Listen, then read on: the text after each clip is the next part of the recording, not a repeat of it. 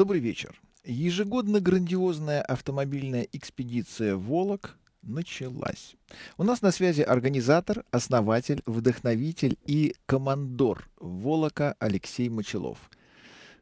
Сейчас он появится у нас в эфире. Для этого нужно нажать на несколько кнопок, и вы услышите его удаленный голос, поскольку происходит все это чрезвычайно далеко. Э, от Москвы это несколько тысяч километров. И это особенность мероприятия. Э, каждый раз, когда о Волоке идет речь, все спрашивают, а в какой день вы приедете в Москву? В Москву Волок не приходит никогда. Это мероприятие проводится специально с таким расчетом, чтобы можно было максимально далеко уехать от привычных мест обитания. Довольно часто ведь все-таки москвичи являются застрельщиками подобных экспедиций.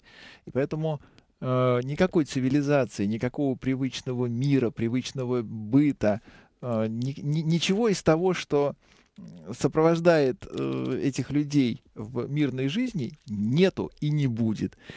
И удаление максимальное, причем э, э, Волок э, это такая штука, которая а, так, Алексей, ты уже со мной? Ну. Да-да-да, я уже на, на, на связи. Слушай, а я, я вместо тебя мочеловым работаю, рассказываю, что такое Волок, какая-то классная штука, а ты там молчишь, затаившись. Леша, ну, здравствуй. Это прекрасно. Ну, да, мы тут на самом деле настолько обещали, что разговаривать разучились. Только жестами вот, и странными что... междометиями. Ну да. Вот, значит, э, ну, э, ты очень хорошо рассказал в двух словах, что такое.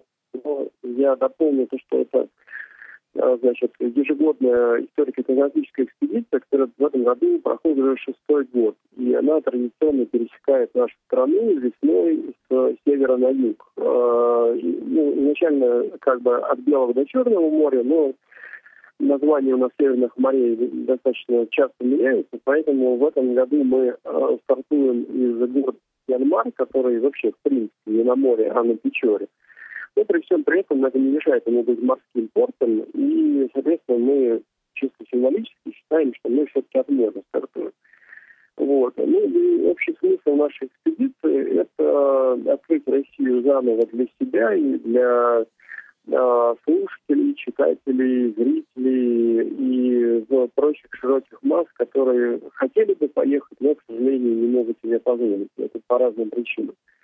Вот, поэтому мы, в общем, своими глазами потом рассказываем э, всем о том, как же живет Замкадом, э, как живет страна, как живут отдельные города, села и так далее, что у нас творится с дорогами, вот, какие достопримечательности, где у нас затеряны, потеряны и так далее. Мы, в общем, пытаемся как бы не забывать о том, что страна наша, в общем, мягко скажем, необъятна. Вот. Ну и э, каждый год у нас отличается э, тем, что мы стараемся делать первое прохождение.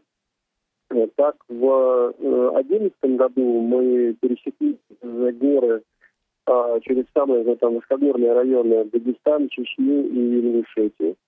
В прошлом году, в честь пятилетия проекта, мы соединили единым маршрутом пять Марий.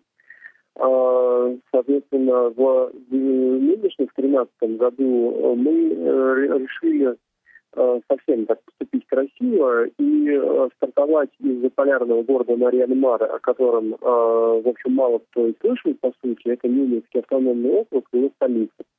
Вот. И чем стартовать не по единственной автодороге, которая в него приводит, это Вильнюс, Нарьян-Мар, Усинск, а уйти из него по льду реки Печоры – Э, и спуститься таким образом в соседнюю республику Коми, в село Усть-Тыльно. А для того, чтобы вы э, понимали серьезность наших намерений, скажу так, что по этой дороге э, никто никогда, кроме местных, не ездил. Местные иногда проскакивают в декабре месяце, когда все замерзает и снега еще нет. Лед уже держит, и соответственно, очень короткий, короткий промежуток в году умудряются проскакивать. Все остальное время изредка проезжают коммерсанты на снегоходах прицепами и перевозят продукты, потому что э, до Нарьянмара от э, крайних северных сел э, Республики Коми всего лишь 100 километров, а до Ухты э, и до Сыктывкара, то бишь до крупных городов, э, именно, э, ну, которые, которые э, имеют принадлежность к Коми, много, много сотен километров, то есть 300, 400 и так далее. Вот, поэтому э, с точки зрения снабжения они все равно завязаны на Нинецкий автономный округ. Вот, поэтому мы решили э, сделать э, достаточно такой э, скажем, рисковый шаг пройти по льду реки. Естественно, никакой дороги там нет, ни, ни ГИБДД, ни ГИРИС, никто это не, э, мы одобрения не получали. А, значит, э, использовали только собственные навыки и знания и мнение местных жителей. Естественно, местные жители чаще всего говорили, что мы не пройдем, вот. Но при всем при этом э, мы э, сперва разведали часть маршрута на трек-поле. Это такой вездеход на огромных э, колесах на низ, низкого давления. А, значит, э, потом вторую часть маршрута мы разведали на снегоходе, э, посмотрели, все очевидно совершенно было проходимо.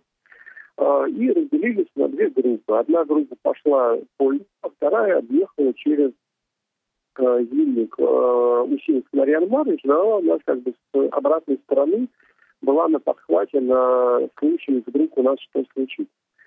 Вот. У нас, на самом деле, практически должно было уже случиться. Они нам, э, у нас э, начало кончаться топливо, и мы дали, дали сигнал о том, что нам надо его подвозить, но, к счастью, потом смогли заправиться в местной деревеньке, потому что э, жители Э, живут в полной изоляции от цивилизации, и они запасаются всем, не только продуктами, но и топливом, потому что ближайшие, до, до ближайшей заправки 200 километров.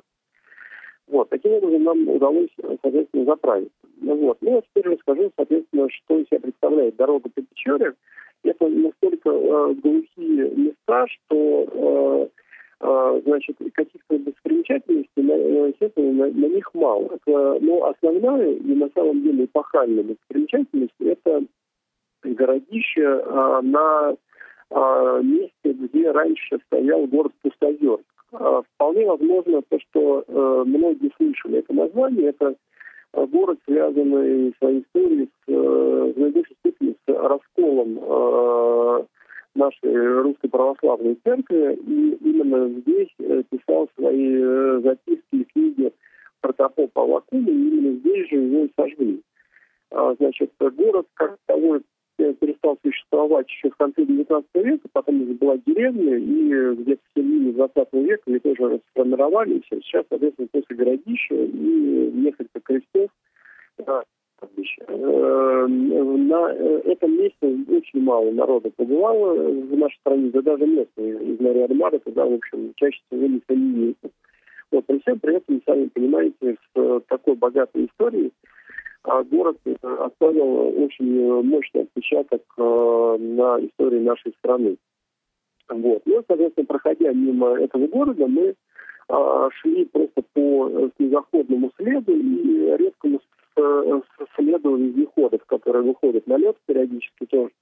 Вот. Э, там же э, по как бы это грустному в этом течении обстоятельств скончался мой организаторский автомобиль, и таким образом я оказался безлошадным. То есть у Land Rover Defender погнала, погнала турбина масла в камеру сгорания, практически там за несколько десятков километров кончилась масло в загорелась лампочка давления, и стало понятно, что на э, данном автомобиле продолжать экспедицию уже невозможно. Вот. Мы, соответственно, оставили э, автомобиль у надежных людей в деревне Лабужская. Это прямо на берегу э, реки Печоры. А, там э, это не просто пушечка, а у нее есть даже свой аэропорт. Да, да, не смейтесь, привлекает малая авиация. А, по крайней мере, летом. Э, и э, машина сейчас стоит в 200 метрах от посадочной полосы у очень приятных, обаятельных людей э, с такой же очень русской фамилией Христолюбова. Они обещали за ней наблюдать снег, стрясывать снег до июня месяца, когда пройдет ледоход, когда можно будет боржой доставить автомобиль на большую землю. А, я почему мы говорим про большую землю? Потому что э, Нинецкий автономный округ – это практически остров. То есть зимой э, сюда есть один единственный зимник. А, летом можно вот, добраться по реке Печоре на барже, там и на всяческих катерах. Ну и, соответственно, есть самолет. Каких-то грунтов, э, нормальных асфальтированных дорог всегда просто не существует. То есть кругом тундра. Леш, вот а, в данный ну, момент у нас уже, Леш, подходит время новостей. Мы прервемся, и после этого Алексей вернется к нам в эфир и продолжит рассказывать об этом приключении. Мы продолжаем слушать удалившегося в белое безмолвие Алексея Мочелова, организатора, вдохновителя и командора мероприятия «Волок», э, погубившего свой «Дефендер». Леша, как жизнь складывалась дальше? А, жизнь складывалась, соответственно, следующим образом. Как я уже сказал, что мы э, оставили машину у прекрасного человека с очень доброй фамилией Христолюбов, а, кстати говоря, нужно э, сказать пару слов и о людях, которые населяют прекрасный э, берег реки Печоры. Э, народ здесь очень светлый, здесь не видно какого-либо такого повального алкоголизма, как это можно встретить в Средней Руси. Э, значит, э, вот прекрасный э, Олег, у дома которого и стоит сейчас машина, а передвигается на очень недешевом э, снегоходе BRT 1200 кубов. То есть э, этот автомобиль, э, снегоход, э, по сути, стоит как у вас патриот между делом. Да? То есть люди умудряются, живя в деревне, чувствуют себя очень хорошо. А, значит, э, поэтому э, за свой автомобиль я совершенно спокоен. То есть никакой нищеты нет. Понятное дело, что никто стекла бить не будет, и навигатора там с антирадарами снимать стекла тоже. Вот, поэтому, в общем, за машиной мы э, были спокойны, оставив ее в этих руках, и двинулись дальше. А, значит, буквально километрах 15 от села Ладожское, где э, обрел свой, в общем, практически последний причал Дефендер, а, э, проходит граница Ленинского округа Иконы и, соответственно, заканчиваются всяческие какие-либо похожие на что-то дороги. Имеется в виду даже снегоходные. А, значит, к тому времени наступила жуткая оттепель, э, плюс 7 градусов тепла, а, дождь, и снег у нас перестал хоть как-то кататься, и машины стали проваливаться. Ну и в итоге нам пришлось пробиваться прямо по реки сквозь э, этот вот очень сильно потяжелевший снег через границу областей. Как известно, э, даже республики, так сказал. Э, как известно, у нас в стране федеральная раздробленность, соответственно, между регионами нет никакого сообщения. И нам пришлось пробиваться ну, по, по абсолютной цене.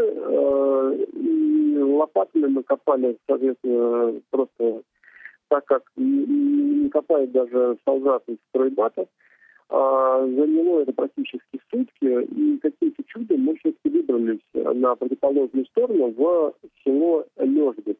А, если у вас есть карта под рукой, э, э, а может быть не под рукой, потом сможете посмотреть в интернете, а расстояние совершенно небольшое, 40 километров какого-то полного безмолвия и, в общем-то, опять цивилизация. Мы думали, что мы э, уже выехали э, нормальную дорогу, там э, обычно был прочищенный зимник, вот, но, опять же, на улице плюс 7. И этот самый зимник э, порядочно подтаял. Э, на нем э, э, как это, несколько грузовых КАМАЗов с приводом 6 на 6, которые делали последний северный завоз.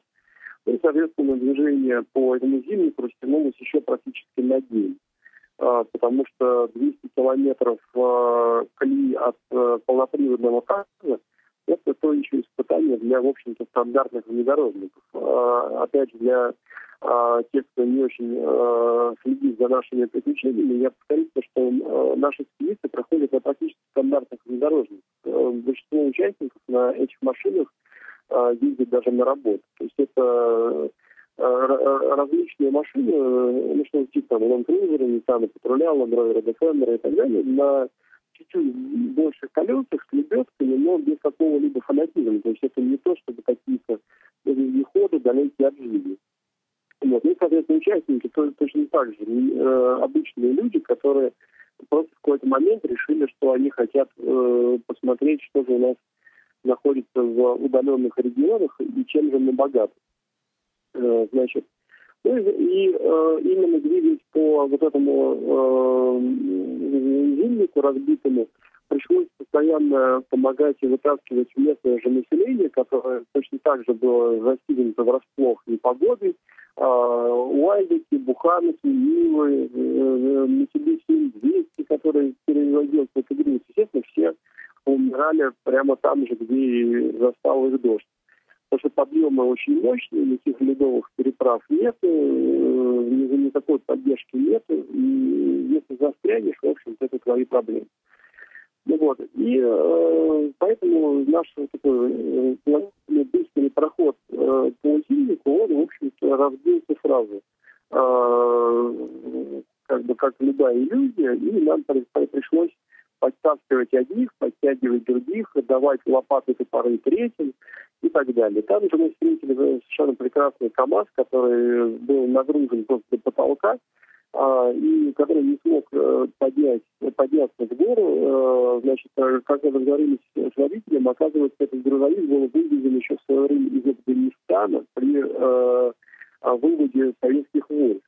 И, соответственно, вот до сих пор этот э, грузовик э, возит грузы в республике Коми и э, поднимается в Ниневский образ вдоль, Печор. Можете себе представить, состояние этого автомобиля. Естественно, когда я э, у него поинтересовался, не пробовал ли он, например, там, э, немножко сбавить давление в шинах и так далее, естественно, он ответил, что ему не работает уже ничего.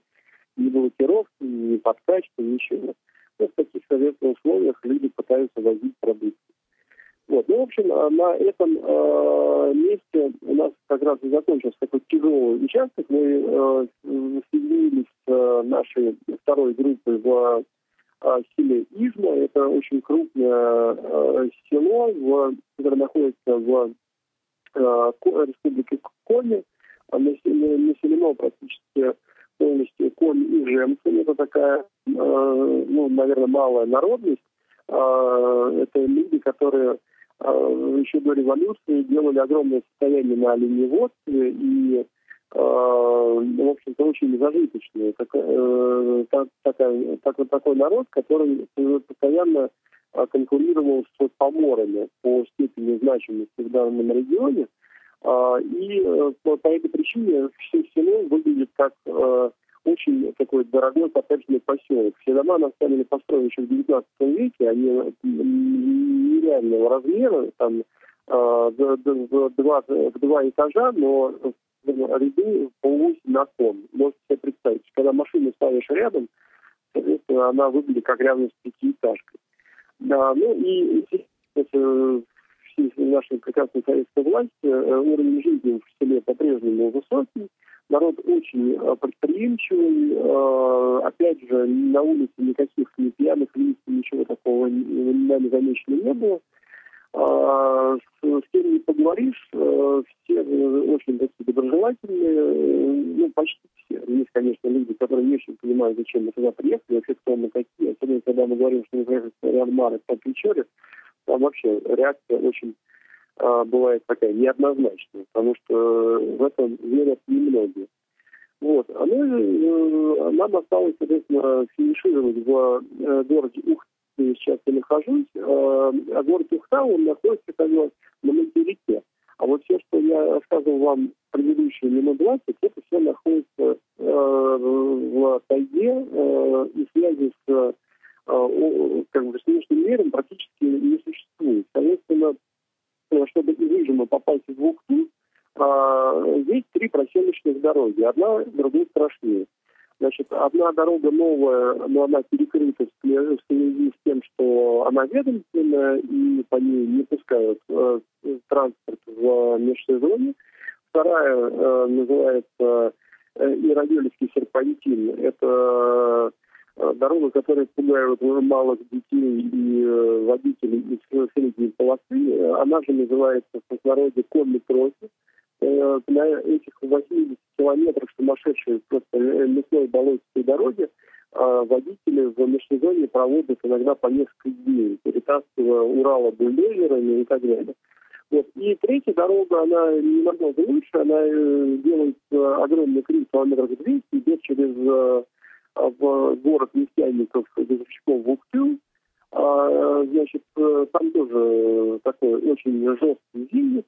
И, по сути, все. а на этом сухопутные дороги заканчиваются. Поэтому нам очень повезло, что мы до наступления полноценной весны все-таки выбрались с вот этого прекрасного северного острова в кавычках, который через несколько дней будет полностью отрезаны от цивилизации отсутствием дорог, и любое транспортное сообщение по суше будет тем самым парализовано до июня месяца. Можете себе представить, да? Поэтому в ближайшие два месяца можно будет попасть в любой из городов, по сути, только на самолете. Ну вот как-то так, так вот и происходит наша экспедиция. Соответственно, э, следующий этап будет не менее интересный. Мы планируем точно так же через леса, через Кайзу уйти на Пермский край, что тоже, в общем-то, практически невозможно обычно сделать. Э, мы планируем пройти по так называемому Яхинскому тракту. Это э, дорога, которая соединяет республику Коми и Пермский край, и выходит э, а, регион, э, который наводен сплошными лагерями и зонами, которые сейчас трансформируются э, потихонечку, но все равно ты попадаешь в настоящий гулаг, и нет ни одного населенного пункта, который не имел бы отношения к, э, к лагерям, построенным за время развития нашего социализма. Вот. Ну, в общем, как-то вот так будем э, надеяться, что потери наши э, на этом закончились, то, что техника будет э, жить долго и счастливо, и э, то, что мы потом через неделю э, выйти точно так же в эфир и рассказать, что, что же мы увидели и что же мы пережили на последующем маршруте.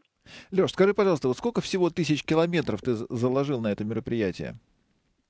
А, значит, общий пробег, который мы планируем пройти, он достаточно традиционный, это около 7 тысяч километров, не считая доезда от э, там, Москвы или от другого города Марианмара и э, доезда от Новороссийска, где у нас финиш, до дома. И, соответственно, на круг получается около 10 тысяч. Вот сейчас вы сколько одолели?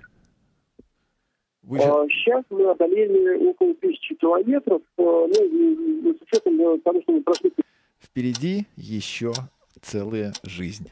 По весне обычно очень хочется что-нибудь поменять в своей жизни. Э, там, жену, работу, пол, автомобиль. Вот мы с вами занимаемся тем, что выбираем себе будущий автомобиль.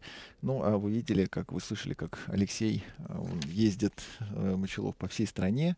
Получается практически 10 тысяч километров. Это тоже очень хороший, чисто весенний способ что-то изменить в своей жизни, а потом вернуться без смены пола, автомобиля, квартиры, работы и жены к нормальному времяпрепровождению. Дом, работа, дом, работа, дом, работа. А потом через год опять на Волок. У нас Через неделю, в следующий четверг, тоже будет сеанс связи с Алексеем. Это уже будет совершенно какая-то другая точка. Возможно, что они прорвутся к Ижевску, а может быть даже уже переедут через э, территорию нашей страны в Казахстан, потому что на этот год на маршруте в том числе и Казахстан запланирован. Телефон 65 10 99 6. О смене пола говорить не будем, пообщаемся об автомобилях. Александр, здравствуйте. Здравствуйте. Наконец-то я до вас дозвонился. Меня это радует. Да, меня это тоже очень радует. Хочу поздравить еще раз всех с наступившей наконец-то весной. С летней резиной нас наконец-то, с и большими... резиной, да. Перестали цокать, наконец-то можно не покупать страшную синюю незамерзайку или прозрачную вонючую смертоносную, можно переходить на воду, и пробки уже 9 баллов из 12 возможных, или на самом деле 12 из 9. А в это время в белом безмолвии Ухты несколько москвичей хорошо э, постигают таинство природы и преодолевают бездорожье. Вы, кстати, слышали, качество звука нормальное было? Ну, в принципе, нормально, но немножко вот некоторые слова были непонятны. Да. Но в, в целом, в целом, в принципе, нормально. Александр, вам не захотелось вот так вот взять лопату в зубы, внедорожник и уехать? Ой, вы знаете, Понятно. ну, в принципе, хотелось бы. Но, к сожалению, пока что семейное положение не позволяет. Да, понятно, что каждый из нас на якоре. Но, ну вот ваш вздох в самом начале говорит о том, что хотелось. Было ну, понятно. Да, конечно, да. конечно. На волю, в пампасы. Прекрасно вас понимаю. Я, в принципе, вот э, по России путешествовал э, один раз вот с другом. Мы ездили в Мордовию на родину его отца. Вот это, конечно, тоже было очень такое... Ну, это, мы, в принципе, ездили по нормальным дорогам, но тоже было довольно интересно и, конечно, очень красиво. Да, когда вот из привычной среды обитания вырываешься на оперативный простор, уже даже не важно, насколько это было сложно или далеко. Все равно было здорово. Ну да, да. Что у вас с машиной? Что у вас интересного? А, ну, машина, сейчас я езжу на Chevrolet Cruze 1.6, очень как бы доволен, уже третий год езжу, прям, в принципе, практически у меня нет какой-то массовых замечаний. Единственное, что немножечко низенькая и чуть-чуть 1.6 все-таки не тянет. Ну, маловато. А у вас ручка или автомат? Автомат. Ну, автомату, да, слабовато. А сколько расход да. топлива получается у вас? Ну вот по городу вообще, э, вот сейчас я езжу, у меня вот счетчик показывает 10,8, но я сейчас в основном по МКАДу езжу. Это выручает, вот. да. Да. Вот. А так вообще, если по пробкам, то вообще 12-13 это легко. Ну, да, мотору все-таки тяжко тащить на себе и круз, ну, и да, коробку эту. Да. Но машина, да. машина, и зим, зимой, кстати, в ней холодно не было, несмотря на то, что ноги не мерзли. Вот ноги чуть-чуть подмерзали, но они подмерзали у меня из-за того, что не, э, не поменял я фильтр воздушный. Когда я включал подогрев ног, у меня начинали запотевать стекла. Да. Вот, то есть из-за этого. Ну, у Круза вообще в целом вот эта вот особенность, что ты либо с ногами как-то с теплыми, либо все остальное у тебя в компромиссе. Дав давно вот это есть у него особенность. Нельзя сказать, что она кого-то сильно смущает, но есть, есть такая проблема в этой машине. Ну, зато дорогу хорошо держит просто. Да. зубами. Да, Стабильно, согласен. И салон большой, много туда можно хороших людей поместить или хороших вещей. Да, да, очень много, я бы даже сказал. Да, и багажник, будь здоров, нормальный. Да. Вот, Сергей, хотел я вас спросить про Тэшечку, э, про Мерседес. Вот я думаю себе, ну, крузик отдать жене, вот. А себе бы хотел все-таки, вот, мечта с детства Мерседес. Вот. И хотел вас спросить, во-первых, э, дизель все-таки или бензин, и вот э, какой, э, какой объем, а вот, ну, какие у них там движки хорошие вот, по объему? А вы собираетесь на первичном рынке или на вторичном брать? Ну, хотел, я думаю, что все-таки на первичном. Очень правильно. Правильно, так, тогда вы, в принципе, не рискуете вы можете взять новую машину, любую, на какую хватило денег. И 180-ка потянет, и, знаете как, там, в принципе, ведь э, как у Мерседеса делается мотор. Один и тот же двигатель в разной степени форсировки благодаря чипу. Он может называться и 180-м, и 200-м, и 220-м.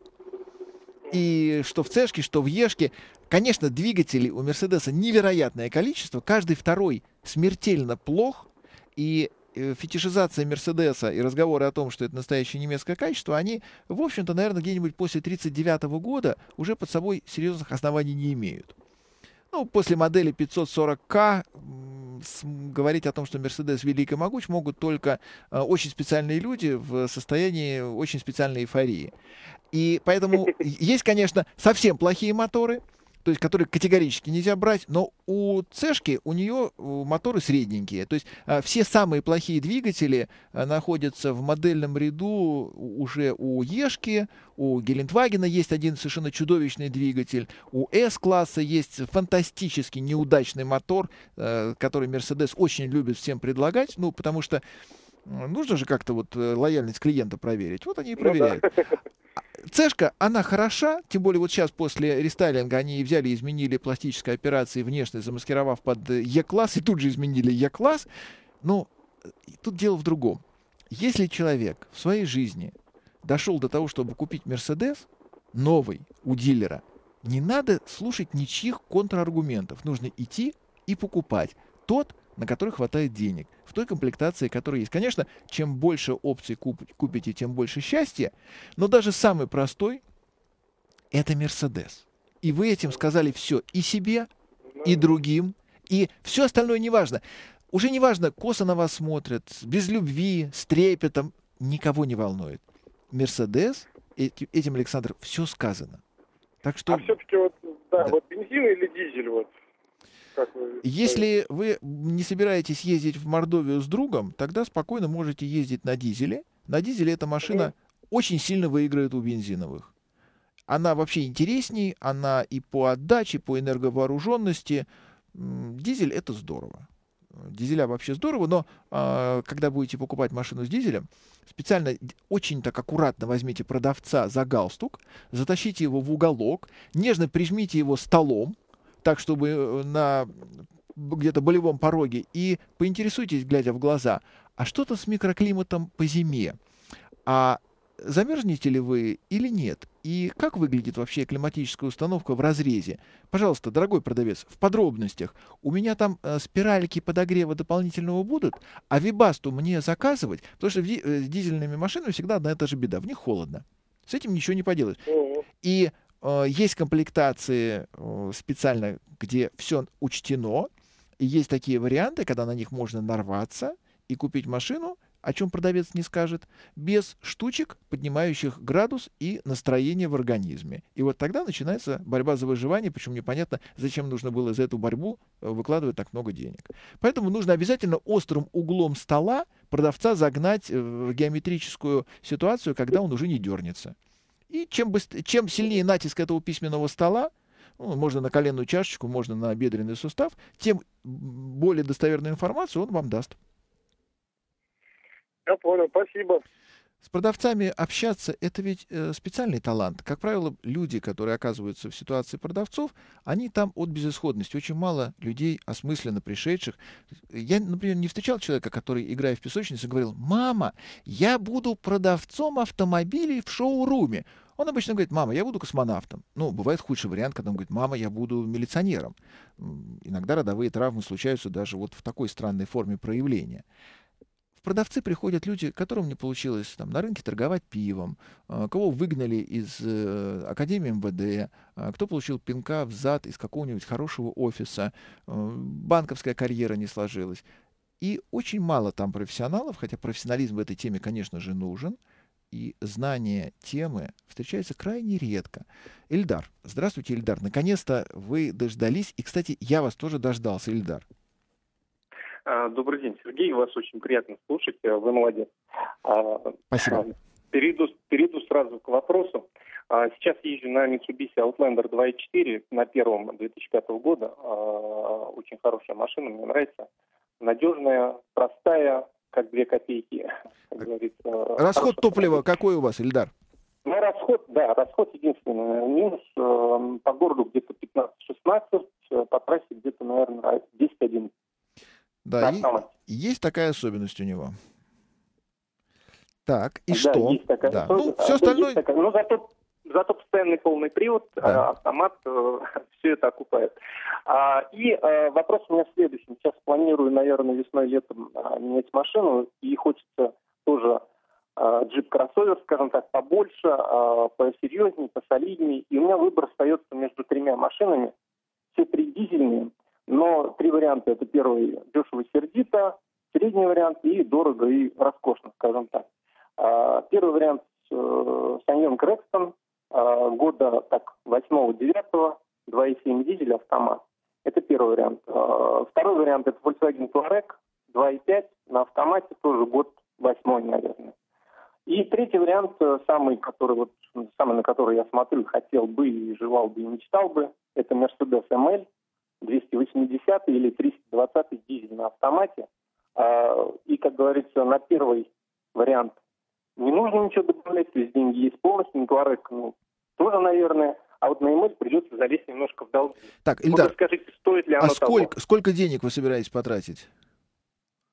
Ну, смотрите, где-то, наверное, до максимум со всеми там хвостиками и прочим до миллиона 50 миллионов 100, вот так. А, значит, Рекстон — это пародия на Паджеро. И в этом отношении Паджеро, конечно, лучше. Потому что э, попытка клонирования, да еще ну, корейцами, да еще корейско-китайцами, у которых с клонированием тяжело, и даже овечка Долли оказалась, э, по большому счету, бесчестной девушкой, и не очень хорошо получился этот самый Рекстон. И восьмой-девятый год, да, он может оказаться неплохим, таким достаточно прочным автомобилем, но особого смысла в покупке этой машины нету, даже когда она новая и даже когда вам ее дарят. Единственный вариант это когда в качестве приданого, ну, девушку люблю, ну что ж делать, возьму Рекстон. С Туарегом все довольно сложно, потому что 2.5 это мотор, которого ему, в общем-то, маловато, и он должен быть, в принципе, 3.0. И если ага. вы, вы найдете Туарег 3.0, да, вот тут уже будет все нормально. Это будет очень сбалансированный автомобиль. И они, кстати, бывают не только ворованные, не только с дырками в двери 762, и не обязательно заднее сиденье залито кровью. То есть нормальные на вторичном рынке поискать можно, хотя это будет тяжело. Туарек все-таки машинка достаточно модная, поэтому, конечно, спидометр скручен у каждой второй. С ML с ним все понятно. Не ворованных, честных Мерседесов на вторичном рынке не существует. Вот не бывает, ниоткуда никогда не возьмется Мерседес на вторичном рынке, по принципу «дорогой, он мне надоел, забери». Нету такого. Значит, это будет машина, что называется, укладная, или там будут э, с таким хвостом проблемы, что вы эти хвосты в бантике уже не завяжете никак. И Мерседес, конечно, он привлекает, но он должен быть новым, как, в общем, гадалки не ходи. Поэтому Рекстон забудьте, Мерседес оставьте в качестве мечты, э, походите, поищите себе Туарек, а, либо в качестве альтернативы, поскольку Рекстон тоже ведь интересная машина, посмотрите себе Паджеро. Паджеро — это неплохо. Перерыв на новости. Телефон 6510 996. Ярослав, вы наконец-то. Здравствуйте. Добрый вечер, Сергей. Вот я э, успел задать вам вопрос там дня 3-4 назад. Вот у меня очень хорошие, скажем так, воспоминания о Audi. Первый и в шестом году у меня была шестая, да. Угу. Как бы много-много на них наездил, в том числе там делал пробеги, да, никаких проблем. Вот. И сейчас вот купил купятую в трейдине э, после одного хозяина с маленьким пробегом, да. Вот я, как вам рассказал, э, поменял э, двигатель по гарантии на пробеге 60 тысяч. Я хотел вас спросить, это просто мне не повезло двигателем TFSI или модель там купить не очень, скажем, в плане надежности хорошая. Просто не очень хочется совсем пересматривать отношение к автомобилю Audi. Это, э, Ярослав, это следующий виток развития фирмы Audi – и новые двигатели TFCI, которые пришли на смену предыдущей линейки, они все такие. Это их привлекательная особенность. Они сделаны с высочайшей инженерной культурой, у них очень хитрое потребление масла, оно там идет на угар. У них была очень любопытно сделана головка, и такое мощное разрежение было на такте выпуска, что масло просто засасывало туда. Потом они сделали в, в этом старом корпусе новый мотор — то есть сказали, что работа над ошибками проведена. Все, товарищи клиенты, расслабьтесь. На самом деле они не просто работу над ошибками провели, они под наименованием предыдущей линейки двигателей сделали новую категорию TFCI моторов. Вроде бы каждому второму после этого везет. У вас, поскольку машина была из трейдина, соответственно, она была того самого беспардонного поколения, у которого все автомобили были просто обречены на смерть двигателя. Некоторые, конечно, выкрутились. Сейчас есть попытка какого-то легкого возрождения. Может быть, пройдет еще небольшой эволюционный такой шажок вперед, не, так, не то чтобы целый виток. И лет через пять э, Audi создаст уже другие проблемы, другого генеза, но, по крайней мере, у вас будут там просто отваливаться колеса или э, там будут э, насмерть э, клинить коробки передач. Но с двигателями все будет в порядке. А фирма Audi, она молодец, у нее хорошая инжиниринговая школа. Но поскольку законы физики обмануть не удается ни в одном городе Германии, впрочем, как и Японии, и Кореи, и тем более Китая, приходится расплачиваться клиентами и их лояльностью за собственные эксперименты. И, в принципе, это нормально. Так поступают все. Есть, э, если просто брать двигатель, э, какой-нибудь дизель трехлитровый, да, вроде ребята говорят, что нормальный двигатель. Да. Или, это, или, или, или все равно как бы нужно переходить там и смотреть тех же японцев, в качестве уже как бы надежности. Не-не-не, бесполезно. Японцы смотреть тем более бесполезно, потому что, вот, например, у концерна Volkswagen Audi трехлитровые турбодизеля очень хорошие, не зря они имеют такой широкий ареал обитания, и по большому счету один и тот же мотор ставится на все, на что только можно. Он ставится и на коммерческую линейку, он ставится и на, на, на Туареги, он ставится в том числе и на Audi, и на Volkswagen. Вот он везде идет. С дизелями у них все в порядке. И Европа, она же в целом дизельная. Поэтому уж по дизелям, конечно, отрабатывают они тему «Будь здоров как». А бензиновых версий в Европе все меньше и меньше. Бензин, как правило, это экзотика для недоразвитых. Вот есть какой-нибудь там э, совсем только что спрыгнувший из дерева, получивший деньги – он обычно хочет бензиновую машину. Бензиновая круче, быстрее. Вот мы как раз относимся к этой категории. Мы все-таки страна такого совсем третьего мира. Ну, хотим мы этого или нет, и экономика у нас там э, игольно-нефтяная, ну, к сожалению. И поэтому весь мир давно уже, Европа в первую очередь, на дизеле. И дизеля там фантастические. И они там экологически чистые, и солярка там стерильная. А мы вот такие, поэтому нам не дизель, а нам бензин. Но когда конструкторы садятся и начинают новую машину на уровне тех заданий прорабатывать, они в Европе всегда за точку отсчета берут дизельный двигатель. Я говорю, значит так, мы делаем вот эту машину, по умолчанию она дизельная, а, у нас же Африка хочет бензин, ой, и русский бензин, да, ну ладно, что-нибудь сунем им под капот, давайте, что у нас там есть в закромах, в, в инструментальных, а, вот этот TFCI, ну, русским сойдет, ну, нормально. И поэтому вот недавно у меня был прецедент, когда уважаемый человек, естественно, уважаемый, купил себе А8Л, причем ну, в самой верти с вертикальным взлетом э, комплектации, у него двигатель э, накрылся где-то, наверное, на третьей тысячи, по-моему. И при этом ну, был легкий скандал, потому что человек, во-первых, обиделся, а дилер очень умело э, ткнул его в калашный ряд совершенно не тем выражением лица как это всегда, ты бы купил что подороже, мы бы с тобой бы как человек. А тут подумаешь, а 8L купил, тоже мне о чем с тобой говорить? Казалось бы, безупречная должна быть машина. Нет, не безупречная. Ну, так получилось. Но это не значит, что от Audi нужно отшатнуться в ужасе. Нет, все будет хорошо.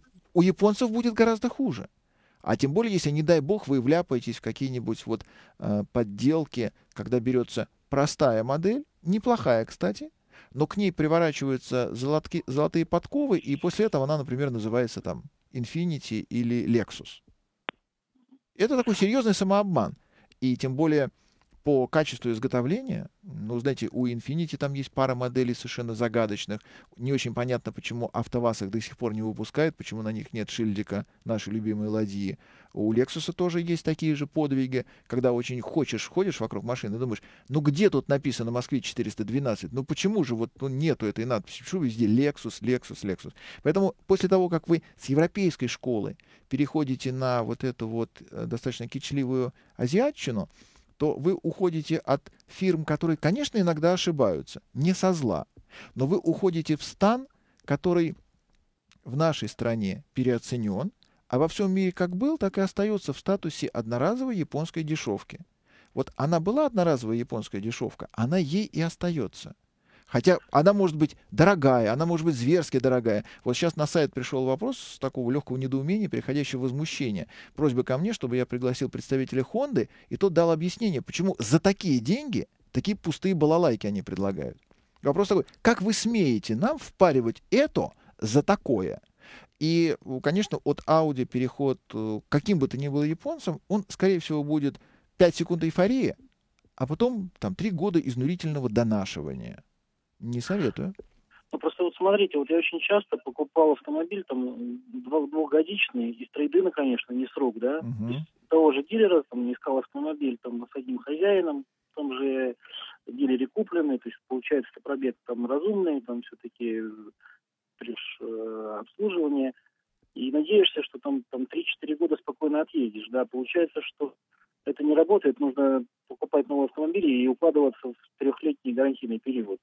Либо по-другому. Либо перед тем, как купить какую-то модель, нужно очень долго рыть интернет и искать вот это обозленное сообщество несчастных пользователей, хлебнувших горе, чтобы они, например, дали вам э, сумму резюмирующих оценок. Потому что по TFCI моторам это такая всеобщая беда. Она накрыла собой всю группу Volkswagen. И тем более как раз вот 4-5-летней э, давности машины, там и даже трехлетней давности машины, это была вселенская беда. Она накрыла земной шар. И просто вам не повезло, видимо, эта информация прошла как-то мимо вас. Но они все обречены. И те, кто до сих пор почему-то бегают, и у них не стуканул мотор, ну, просто потому что, видимо, они очень мало в эксплуатации находятся. Потом концерн потихонечку эту болезнь преодолел, преодолевает и вот-вот закончит ее преодоление, и опять все будет хорошо. Просто вот тут вы попали, что называется, ну, совсем в яблочко. Вот, вот, к сожалению, в чистом поле стояли грабли. Вам не повезло, вы их нашли на ощупь. Спасибо большое, спасибо. Очень интересно с вами пообщался. Ой, спасибо вам, Ярослав. Так, Дмитрий, у нас еще есть время. Здравствуйте, я рад вас слышать. Вы дождались, Добрый... это, это очень мужественно с вашей стороны.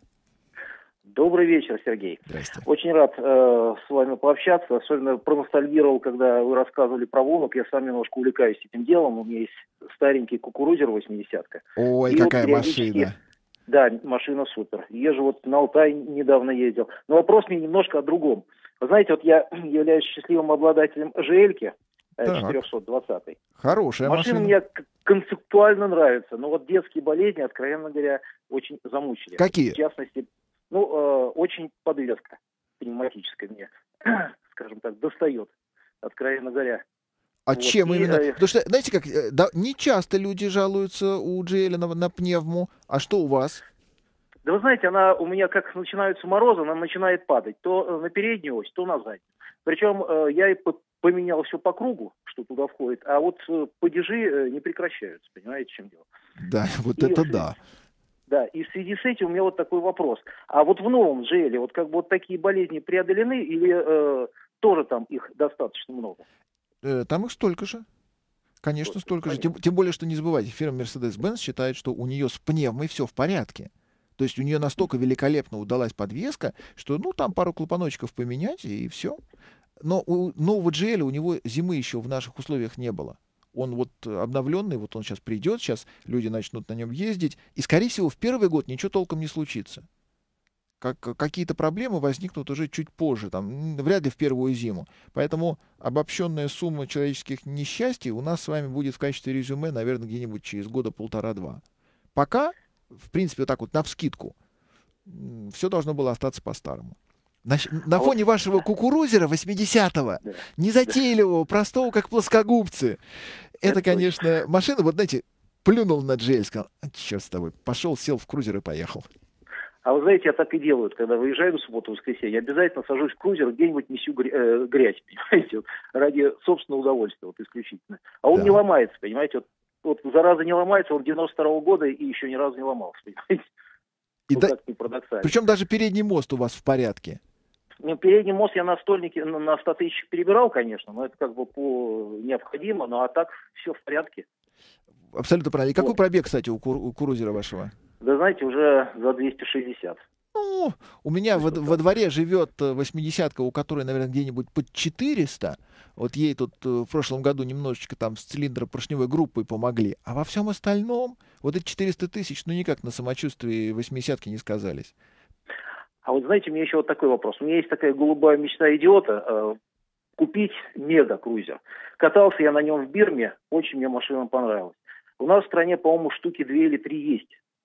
Вот, э, скажите, а вот как-нибудь э, что-нибудь скажете про эту машину? А вы под словом, простите, мега-крузер что имеете в виду? Ну, Потому... Ну, мега-крузер, это я имею в виду вот машину, э, японцы в свое время сделали э, некий, так сказать, ну, копию, не копию, улучшенную копию э, Хаммера. То есть не Хаммер, а точнее Хамви именно, не Хаммера. А, а вот этот, аг... вот этот агрегат. Да. Это редчайшая машина, да. причем, если не ошибаюсь, у нее все четыре колеса управляемые, у нее даже задний поворачивается. Совершенно верно, совершенно верно. Ну, это фантастика. У вас мемуаров нету о том, как вы на этом ездили? Почитать бы. Нет, мемуаров нет. В принципе, э, знаете, впечатления какие? Вот не знаю, э, служили вы, не служили на БТРе 85-м. Если вот на нем мчаться э, по пересеченной местности, вот там достаточно он очень хорошо, скажем так, э, это демпфирует. Вот точно такие же впечатления от мегакрузера. То есть ям он не замечает вообще. Ну, собственно, для этого его и делали. Я служил, но я был, поскольку во флоте, то у нас там немножко по-другому качало. Эх, ну вот, собственно, и все. До завтра.